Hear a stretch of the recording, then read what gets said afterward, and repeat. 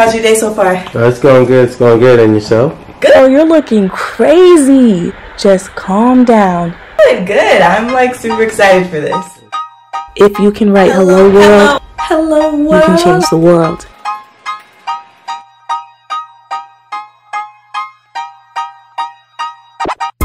Okay, Maya, believe in yourself. You got this. Let's go. Given an array nums of n integers, are there elements a, b, c in nums such that a plus b plus c equals 0? Find all unique triplets in the array which gives the sum of 0. So I think I'm going to start by breaking down the problem. So given an array nums of n integers. So let me just copy that part of the question because that's key. So would I be able to be given the empty array? Yes. Okay, nice. So I can have the empty array, and then I can also assume that I can be given a huge amount of numbers, infinity. Sure. Okay, that is good to know. So lowest equals empty array, and the highest equals an infinite amount of numbers in the array. So that is good to know. And then are there elements A, B, C in nums such that A plus B plus C equals zero? So for example, if A was zero, B was zero, and C was zero, would that still count as an answer to this question? Yes. Okay, good to know. So let me just take note of that. That is something I can test at the end of this question. So let me write 0, 0, 0 equals acceptable. Okay, I'm starting to get a feel for this question. So then find all unique triplets in the array which gives the sum of 0. Find all unique triplets. So I guess a question that I have, if I'm given negative 1, 0, and 1 versus 1, 0, and then negative 1, do I return both or do I just return one of them? So would I just return one of these as the answer? Yes. Okay, sounds good. So I'm going to just comment this, and this is my understanding. And the solution set must not contain duplicate triplets. So I just addressed that right there. So I think I'm good with really breaking down this question. So what I'm going to do now is I'm going to start writing some pseudocode. The solution I'm thinking of is the brute force solution. So what we would have is we would have three nested for loops and basically through with each for loop would have a different pointer. So for example the outermost for loop we would have let's say i, the middle one would have j, and the innermost for loop would have k and then what we could do is check array at i plus array at j plus array at k and see if that equals like the sum of zero. Oh my goodness, girl. Three nested for loops? That solution is trash, trash, trash, trash. You need to think of a faster solution. Come on. However, I'm not sure if I want to approach it that way just because the complexity of that algorithm is terrible and it'll be O of n cube complexity and I know that is not the solution I want. I feel like what I need is some way that I can iterate through this array or like some way that I can find the different combinations faster. So I need a faster lookup time. And when I think of faster lookup times, I think about hash sets. However, I'm not sure if I want to use a hash set just because I'll be adding new space complexity into the problem. And I'm not sure if I want to go that route. So I'm trying to think. I need to gain more information about this array. And something interesting that I actually noticed was in the example, negative 1, negative 1, 2. At first I thought it was out of order.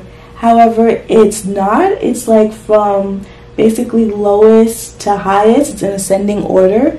So I think I might gain information about the array if I sort it. So for example, I'm going to take the array that was given in the question and I'm just going to see if I can sort this bad boy So let's do negative 4, negative 1, negative 1, and then 0, 1, 2. Okay, so now from sorting the array, we know that the lowest number is on the left-hand side and the biggest number is on the right-hand side. And I feel like I could somehow use this to my advantage. So what I think I want to do is I'll have three different pointers. So I would have I, I would have left pointer, and I would have right pointer. So if I have left pointer equal to the lowest number and then I have right pointer equals to the highest number, I think I can, oh, I got the solution. I think I can look at different combinations that way. And if a number is too big or if a number is too small, I know I should move a pointer to account for that.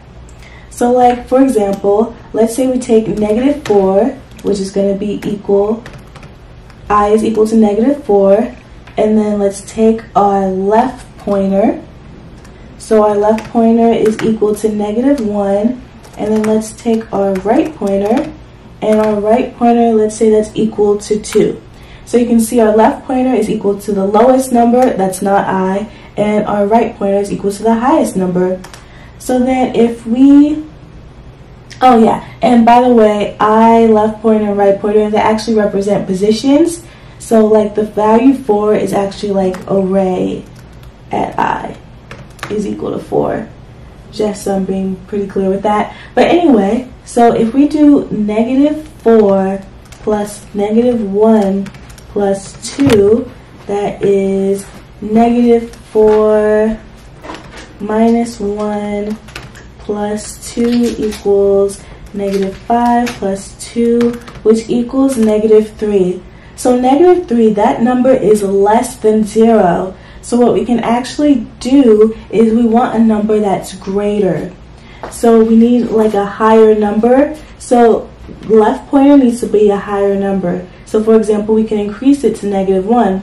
However, this makes a good point because if we try negative 1 again, it's a duplicate. So we're going to be repeating the same process for basically a number that we just tried. So we'd actually have to increase the pointer twice, twice but let me leave a note over here saying that um, look out for dupes in the array.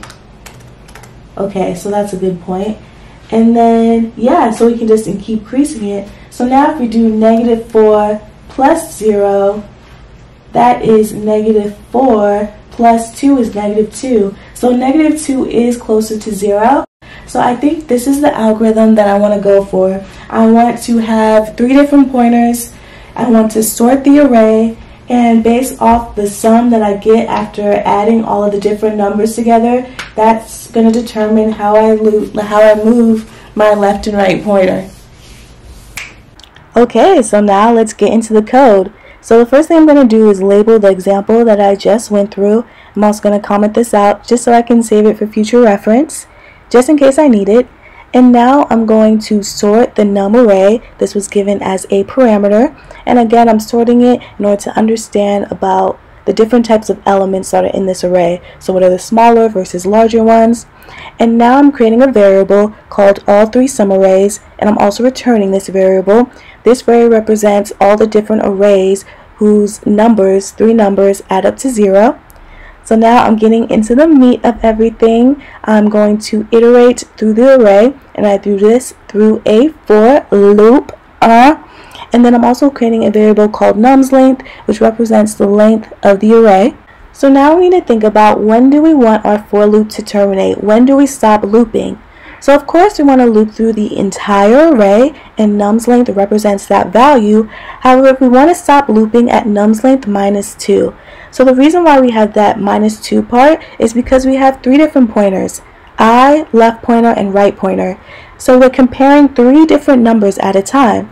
So when we only have two elements left in the array, that means we can't make that three-way comparison. So we need to stop looping because at all times we're comparing three different numbers. Now we are going to create our left pointer and our right pointer. So our left pointer represents the smallest number in the array that is not i, so i plus 1. You can also see that in our example, it was negative 1, which is 1 away from i. And then we are also going to create our right pointer, and it's going to be equal to the length of the array minus 1, which is going to be the largest number that is in our array. And in the example, it was 2. So for the next part of our algorithm, we're going to be changing our left pointer and our right pointer based off the total sum we have so far. So we're going to talk about what that terminating condition is a little bit later. So now we can do the adding the a plus b plus c. So we'll do nums at i plus nums at left pointer plus nums at right pointer. And we're going to take that sum, as you can see like we did in our example, adding those three numbers together. And that's going to be equal to a variable called temp3 sum total. There are three situations we need to take account for when our temp 3 sum total is equal to 0, when it's less than 0, and when it's greater than 0. So first let's talk about what we should do when it's equal to 0. When our temp 3 sum total is equal to 0, that means we have found a combination of numbers whose sum is 0. So we can append that to our result, and our result is called all three sum arrays. We can also now update what our left pointer and our right pointer is pointing to. So we're going to increase our left pointer by 1, and then we're also going to move our right pointer to the left by 1. So the reason why we do this is because we want a new combination of numbers for the given index we are at. Because if we just move to one pointer, that doesn't make sense because there will not be another unique triplet if two pointers stayed the same. Okay, so if our temp3 sum is less than 0, then that means, you know, the number was a little bit too small and we need to add like a bigger number to our addition. And then if the temp3 sum total is greater than 0, that means the number is too big and we need to add a smaller number to our addition. So for the case that is less than 0, let's move our left pointer to the right by 1 so we can try a slightly bigger number. And then same thing for when the number is too big. We know our smaller numbers are to the left. So let's move our right pointer one to the left and try adding everything again to see if this changes whether our number is closer to zero. What should we put in this while loop? Well, let's say our left pointer is equal to negative 1 and our right pointer is equal to 2. Left pointer is equal to negative 1 and our right pointer is equal to 1. There's going to get to a point where our left pointer and our right pointer is pointing to the same number. This is not good because this violates what the question is asking. The question is asking for A plus B plus C, different elements. So while our left pointer is less than our right pointer, then we can keep looping and updating our left and our right pointer. We'll ensure our left pointer and right pointer is never pointing to the same element. So if we run our code, you'll see that we'll get the wrong answer. And the reason why we have the wrong answer is because there's a duplicate array in our final output. So the reason why that happens is let's say we found the combination negative 1, 0, 1. When we increase i by 1, we will find the combination again, negative 1, 0, 1, just because there is two negative 1s in the array. So what we can do, as long as i is greater than 0, we don't want any out of bounds problems, and the number we're currently at, if that was equal to the number we just saw, then we just need to continue, we keep it pushing because we don't want any duplicate answers. So when we run our code again, you'll see that we will have the correct answer. Y'all, if you have made it this far in the video, please let me know in the comments below. Like I didn't know if this video was going to be boring for y'all. So if you don't like it, it's all good. Just let me know in the comments below. We are at the last home stretch, y'all. So we're still going to have this while loop and we're going to have this check that's similar to the check that we had before. So as long as our left pointer is less than our right pointer, if nums at left pointer at that position, if that's equal to the new position that we're updating left pointer to be, then we do not need to waste our time. So we can make left pointer be equal to the next number. And we're going to do the same thing for the right pointer. So as long as our left pointer is less than our right pointer, however, if our nums at position right pointer, if that's equal to nums at position right pointer plus 1, then we are not wasting our time and we're going to have right pointer equal to right pointer minus 1. Like we're just going to move right along because no need to run this whole algorithm if we already know what the answer is going to be. And then after this whole shebang, there's one more check that we need to make. And this was kind of tricky. Like I did not see this my first time going like doing this problem. However, as an optimization, let's say i is at a positive number. So it's at a number greater than 0. There is no way that these numbers could equal 0. So let's say the numbers were 1, 2, 3. That's not going to equal 0. So an optimization we can make, if nums at position i, if that's greater than 0, then we can just return all three sum arrays. Like we're good, we know all the different possibilities we have, and that's it. So this is the final solution. So let me know in the comments below what solution you use and also as a little trick question, let me know if you think if I use a hash set that would also work. So the new solution that I came up with, the complexity is O of n squared, which is a huge improvement from O of n cubed. Thank you so much for interviewing me today. I really appreciate it. I had so much fun. And yeah, so thank you so much. And when will I hear back from you? Very soon. Okay, thank you. Have a good day. See ya.